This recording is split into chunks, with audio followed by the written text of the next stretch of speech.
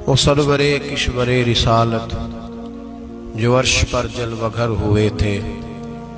नए नवेले तरब के सामा, अरब के मेहमान के लिए थे।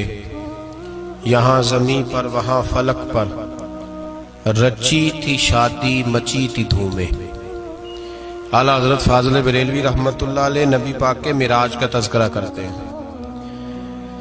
फरमाते यहाँ जमी पर, वहाँ फलक पर। रची थी शादी और मची थी धूमें। इधर से नफखात उठते आते, उधर से अनवार उठ रहे थे। और फरमाते हैं कमाने इनका के झूठे नुकतो तुम अव्वल और आखिर के फेर में हो। मुहीत की चाल से तो पूछो किधर से आए, किधर गए थे। और फरमाते हैं बच्चा जो तलवों के उनका धोवन। बचा जो तलवों का उनके कहते हैं, जब नबी पाक के पैर धोए ना फरिश्तों ने तो उससे जो पानी बच गया था, लग के जो बच गया, कहते हैं बच्चा जो तलवों क्या उनके धोवन, बना वो जन्नत का रंग रोवन बचा जो तलवों के उनका, देखें, ये तखयल सिर्फ़ हाजिर बरेलवी का है। ये किसी और की सोच है ये तखयल सिर्फ़ आला हज़रत फाजिल बरेलवी का है। फरमाते बचा जो तलवों के उनका धोवन। बना वो जन्नत का। रंगो रोगन नहाने में जो कुछ बचा था पानी। कटोरे तारों ने भर लिए थे। कहते ये जो सितारों में रोशनी है ना, जब हुजूर ने गुसल किया ना मेराज की रात तो जो उसमें से पानी बच गया तो ये तारे उठा के ले गए थे। अल्लाह ने सबको रोशनी अता कर दी है। फरमाते हैं, जन्नत बड़ी हसीन है, लेकिन उसका जो रंग रोगन है ना वो मेराज की रात जो हुजूर के पैरों से पानी लग के गया है, उसकी वजह से अल्लाह ने उसे रंग रोगन अता फरमा दिया। वो सरवरे, किशवरे, रिसालत जो अर्श पर जलवगर हुए थे, नए नवेले तरब के सामा, अरब के मेहमान के लिए थे। अज़ीज़ दोस्तों, मेराज मुस्तफ़ा सल्लल्लाहु अलैहि वसल्लम। मिराज हुजूर का मोजा है। मिराज नबी पाक सल्लल्लाहु अलैहि वसल्लम के उस अजीम मोजे को कहते हैं जिसने पूरी दुनिया की अकल को आजिज कर दिया। उस जमाने में मुशरकिन, मुनाफिकीन इनकार करते थे कि हुजूर कैसे गए, किस तरह गए, कैसे हो सकता है? आज हमारे जमाने में कुछ अकलमंद मुसलमान, हालाँकि अलामा इकबाल बड़ा अरसा पहले कह चुके अकल को तनकीद से फुर्सत ही नहीं। अक्ल को तनकीद से अक्लमंद बंदे को होना चाहिए कि नहीं? जी। पर तनकीद वाली अकल नहीं होनी चाहिए। अक्ल को तनकीद से इकबाल एक ऐसा शायर है जो शेर का वज़न बनाने के लिए लफ्ज इस्तेमाल नहीं करता। कि वज़न बन जाए, चलो लफ्ज कोई भी हो। आजकल तो लोग वज़न बनाने के लिए पता नहीं उसका मफहूम क्या है। चक्कर क्या है? वज़न बनाने के लिए बस। इकबाल वज़न बनाने के लिए लफ्ज इस्तेमाल नहीं करता। इकबाल कहते हैं कि मेरी पूरी जो सोच होती है, वो मेरा पूरा फिक्रा होता है। सोच। इकबाल ये नहीं कहते कि अकल एक मिनट, दो मिनट तनकीद करती है, फिर चुप कर जाती है। कहते हैं, अकल को तनकीद से वेली बहती नहीं, सारी दिहाड़ी तनकीद कर दी रही एक मिनट की भी इसको फुर्सत करती क्या है? बोले, अकल को तनकीद से तो फिर हम क्या करें? तो कहने लगे, तू इश्क पर ईमान की बुनियाद रख। इश्क पर ईमान की, वरना तू मुसलमान कैसे हो सकेगा? अकल तो तुझे बड़ी बड़ी जगहों पे ठहराएगी। देखो ना, ये कैसे हो सकता है? वो कैसे हो सकता है? नबी करीम सलाम का जो मोजा मेराज है ना, वहाँ भी लोग अड़ गए थे मेरे भाई। और आज तक लोग अड़े हुए अड़े हुए। एक बंदे दर्जनों किताबें लिखते हैं, लोग कहते हैं, जी, नबी पाक ख्वाब में गए थे। तो मैं कहता हूँ, जनाब, मैं अगर ख्वाब में सारी अर्श कुर्सी लोहो महफूज होके आ जाऊँ तो किसी को इतराज होगा? वो कहेगा, जनाब, ख्याली पकाओ, पुलाव पकाइए तो क्यों कभी भी घट ना पाइए। उसमें कौन सा खर्चा आना है? तो नींद में तो बंदे को अगर बनना भी हो तो किसी बड़े मुल्क का सदर बनना चाहिए। कोई बंदा उस पर इतराज कर सकता? ख्वाबों पे कभी इतराज? ये जो सारे काफर बिखर गए, बिफर गए आए नबी पाक की बारगाह में। और ये जो इतना ज़्यादा शोर हुआ और कुरान पाक की आयतें उतरी, इसका मतलब है, ख्वाब की बात होती तो किसी को कोई एतराज़? हुजूर ने फरमाया, मैं गया हूँ, जिसम के साथ गया हूँ। सुबह अल्लाह जी असरा, बेआबदे ही। और अल्लाह फरमाते हैं, नबी पाक को मैं लेके गया हूँ। नबी पाक को मैं, जो दावा रब करीम का है, सैयद आलम सलाम फरमाते मैं तो सो रहा था। मैं आराम से और अपने घर नहीं, उम्मे हानी बहन के घर सो रहा था, हज़रत अली की सगी बहन। हजूर फरमाते, मैं सोया हुआ, कोई आने वाला आया? कितने फरिश्ते थे? मुहदसिन ने लिखा, तीन उल आज़म फरिश्ते थे और उनके साथ सत्तर सत्तर हज़ार फरिश्ते। हज़रत जबरील और उनके साथ सत्तर हज़ार फरिश्ते। हज़रत मीकाइल और उनके साथ सत्तर हज़ार फरिश्ते। हज़रत जनाब सैदना इसराफील और उनके साथ सत्तर हज़ार इतने फरिश्ते। और कुरान मजीद में अल्लाह फरमाते हैं, दावा मेरे रसूल का नहीं सुबह अल्लाह जी असरा बेअबदही पाक है वो जात जिसने अपने बंदा खास को सैर कराई, कितनी कराई? लईलन, रात के मुख्तसर हिस्से में, मिनल मस्जिद हराम इलल मस्जिद अक्सा। मस्जिद हराम से लेकर मस्जिद अक्सा तक। कौन सी मस्जिद अक्सा? अल्लाह जी बारक ना हो जिसके इर्द गिर्द हमने बरकतें रखी है। जिस मस्जिद के मस्जिद के इर्द गिर्द हमने बरकतें रखी है। मस्जिद के अंदर बरकत है कि इर्द गिर्द होती है। आप बाहर जूते लेकर फिरते हैं, अंदर आते हैं तो जूते उतार के। बाहर बंदा पाक न पाक फिरता है, मस्जिद आता है तो पाक होके अल्लाह फरमाते हैं, हमने मस्जिद यकसा के कहा बरकतें रखी हैं जी? अल्लाह जी बारक ना हूँ हमने मस्जिद के मस्जिद के इर्द गिर्द क्या था? इमाम राज़ी, अल्लामा महमूद अलूसी अलामा इस्माइल की तमाम मुफसरीन और वो मुफसरीन जो तमाम मकातिब फ़िक्र के यहाँ मुतफिका है। इमाम फखरुद्दीन राज़ी फरमाते हैं, मस्जिद अक्सा के इर्द गिर्द दर्जनों नबियों की कब्रें हैं, जिनको अल्लाह बरकत वाली फरमा रहा है। जिनको अल्लाह नबियों के जिस्मों को बरकत वाला फरमा रहा है। वरना बरकत तो मस्जिद के हज़रत अलामा महमूद आलूसी ने लिखा है, जब हज़रत यूसुफ सलाम का विशाल हुआ ना तो दरिया के किनारे उनकी कब्र बनी। तो कुछ लोगों ने पानी लगाया अपने खेत को, उनकी कब्र के पास से होके गुजरता था। तो जो पानी उनकी कब्र के करीब से होके गुजरता था, जिस जिस खेत में जाता था, उसकी फ़सल सर सब जो शादाब हो जाती। वो दूसरी साइड वाले शोर करने लगे, कहने लगे, तुम्हारे को अकेले के नबी तो नहीं थे ना, हमारे भी पैगंबर है। वो हज़रत यूसुफ सलाम की कब्र खोद के ताबूत निकाल के दूसरी तरफ़ ले गए। उन्होंने कहा, जनाब, हमने वहाँ दफन करना है, हमें भी तो सर सब्जो शादाब होने की ज़रूरत है ना? अब शोर हो गया, इधर वाले कहे, हमने दफन करना है, उधर वाले कहे, हमने बड़े लोग बैठे, कौम के बड़े। उन्होंने कहा, संगे मरमर का मकबरा बनाओ और इनकी कबर के करीब से दरिया का पानी, फिर आगे जाके एक हौज बनाओ, उसमें से साइडें निकाल लो। वहाँ हज़रत यूसुफ की कबर के करीब से पहले छोटा सा रास्ता निकाला गया पानी के लिए, फिर आगे जाके एक बड़ा तालाब बनाया गया, फिर चारों तरफ़ वहाँ से पानी जाता था, जहाँ जहाँ पानी जाता था, अल्लाह सर सब्जो शादाब कर देता था सारे इलाके को। नबियों की कब्रों में, उनके वजूद में रब करीम ने बरकत रखी हुई है। बरकत रखी होती है अल्लाह ताला। यहाँ लोग बिफर जाते हैं, पर एक और बात भी याद रखें, हर एक का मजार नहीं बनना चाहिए। हमारे तो जितनी कसरत से मजार बन रहे हैं, लगता है हर गली में छह छह मजार होंगे। किसी बरकत वाली कब्र से फैज हासिल होता है। हर आदमी शौक ही बड़ा है, कब्रों में दफन होने का। लोग मरने से पहले पहले मजार बना कर फिर रख देते हैं, कहते हैं, पता नहीं बच्चे बाद में बनाए कि ना बनाए।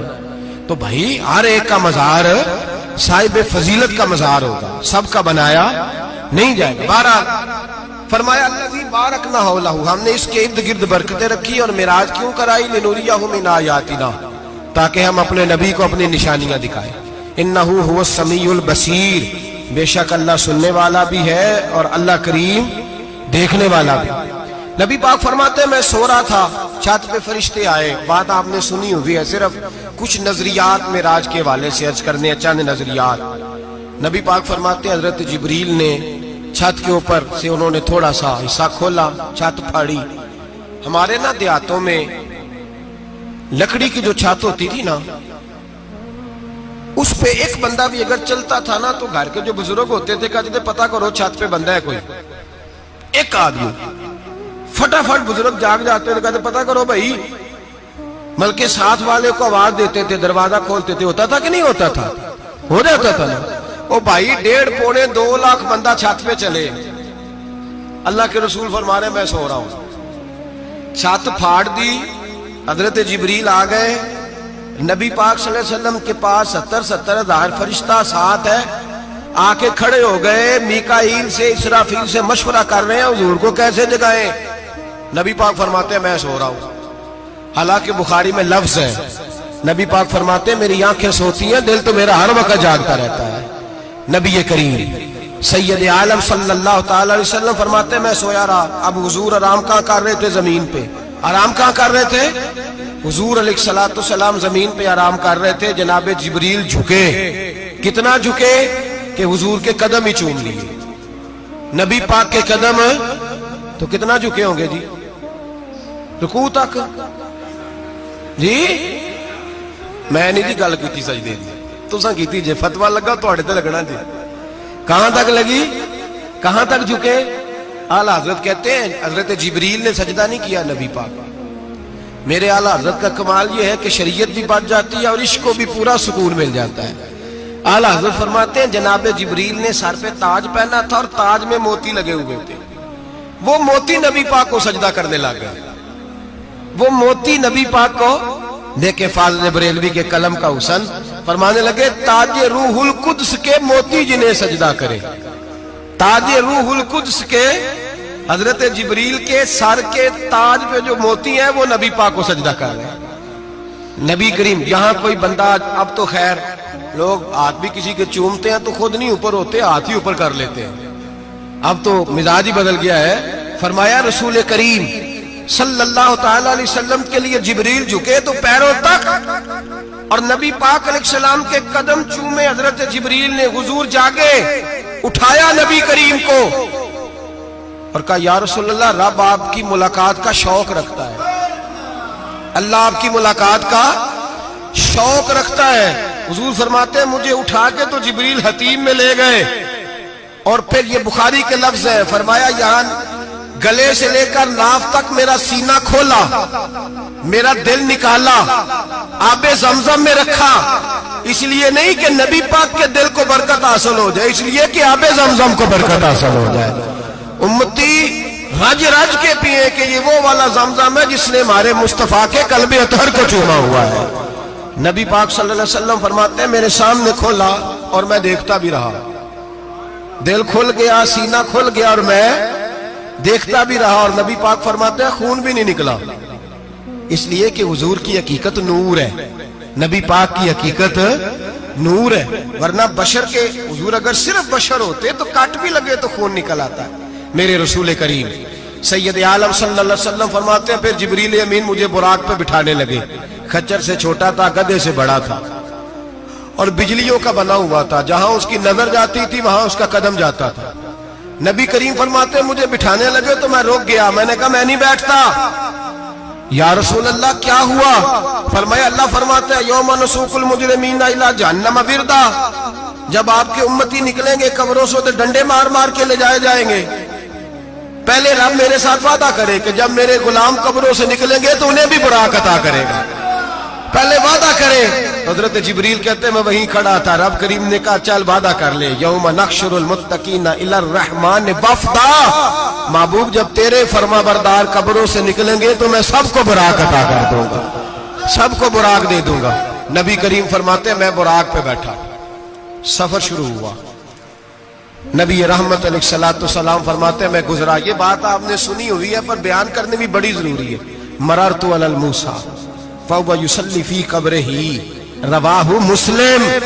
ओ खुदा के बंदो, अल्लाह तबारक वाली हिदायत का नूर दे, कहा बैठ के कुरान और सुन्नत पढ़ते हो? क्यों नहीं अकीदे को समझते?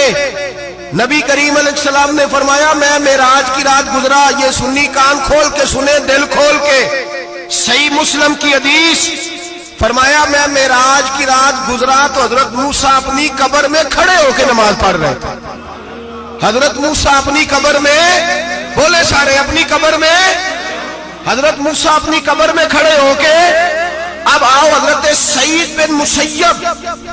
ताबी है सियाबा के शागिर्द वो कहते हैं, जब यजीदी फौजों ने मदीने पर हमला किया और यजीद का मुकर करदा इमाम आया तो सियाबा के मस्जिद नबी छोड़ गए। तीन दिन तक मस्जिद में नमाज़ कहा हम यजीदी इमाम के पीछे नमाज़ नहीं पढ़ेंगे। मदीने पे हमला हुआ, मक्के पे हमला हुआ।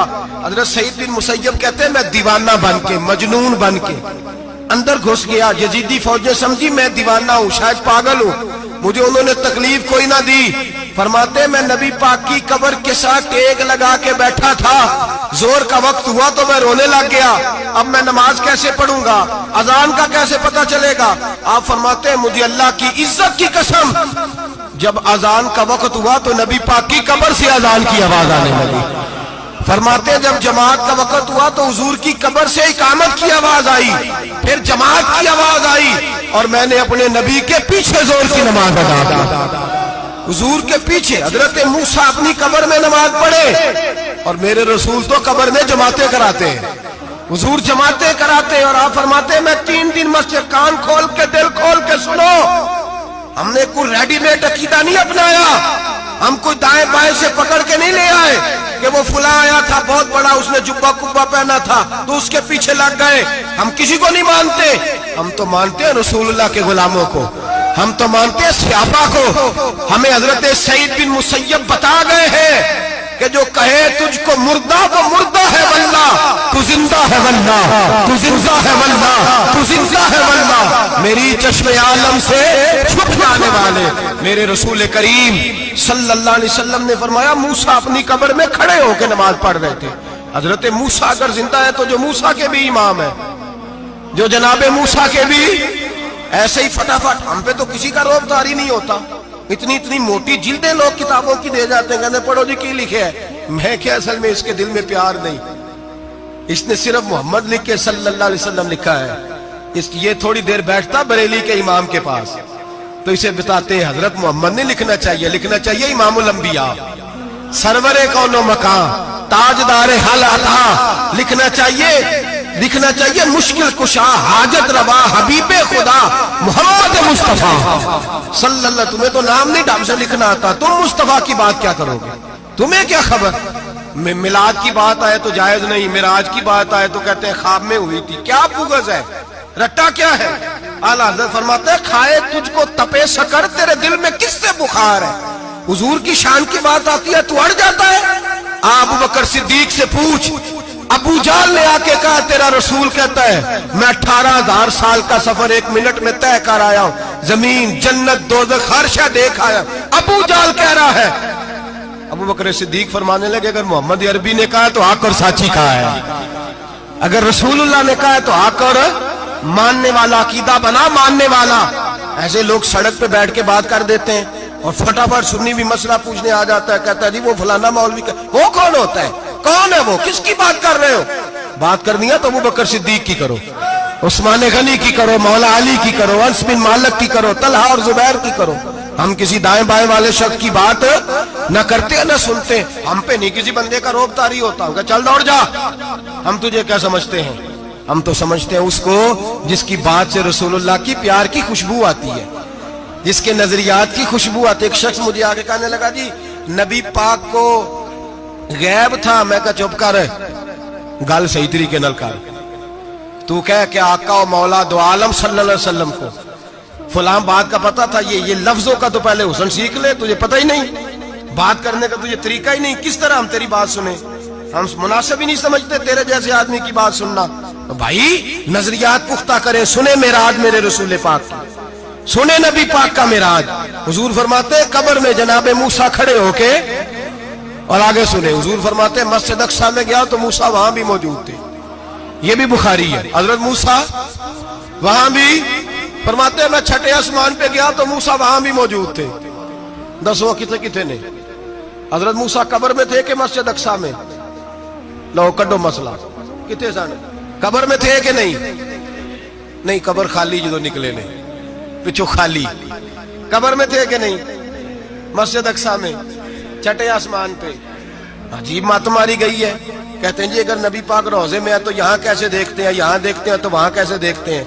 हम कहते हैं मजरत मूसा, जिनका कलमा पढ़ने के लिए मिन्नत करे रब की बारगाह में, कि मुझे गुलाम बना ले अपने मुस्तफ़ा का।